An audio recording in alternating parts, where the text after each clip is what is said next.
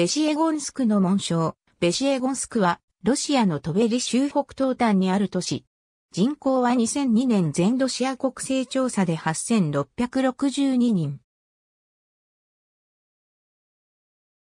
州都、トベリからは北東へ 250km。町は、モロガ低地にあり、モロガ川の右岸に立っている。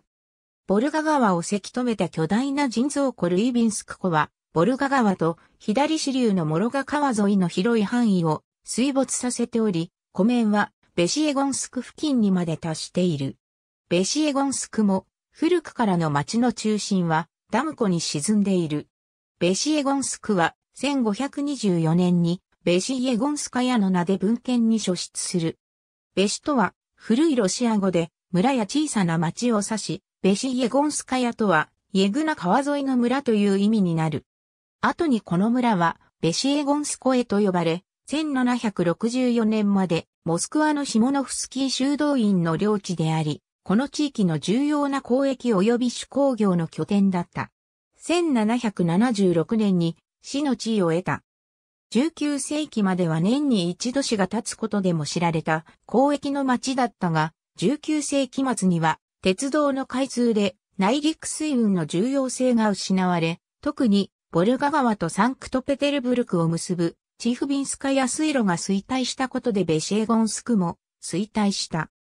この周囲の重要性を回復させるために鉄道建設が始まり、モスクワサブヨロボソンコボクラスヌイホルムペストボ、サンクトペテルブルク間の鉄道からベシエゴンスクへ伸びる、非線が1926年に開通し、さらにチェレポベツやババエボへ伸ばす計画もあったが、結局延伸されることはなかった。1939年には、ルイビンスクダムの建設により、市の中心部が沈み、新しい場所に市街地を作り都市型集落として再出発した。1953年には再度市の地位を得た。中心部が沈む以前の聖堂のうち、1811年にできた火山の生新女聖堂、1868年にできたイタリ生産者、聖堂、1903年のセングジュアライ、イオアン聖堂が残っている。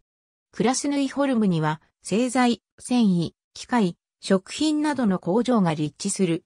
ベシエゴンスク駅は、支線の終着駅で、モスクワからサブヨロボを経てきた列車が到着する。モスクワまでは 375km。ありがとうございます。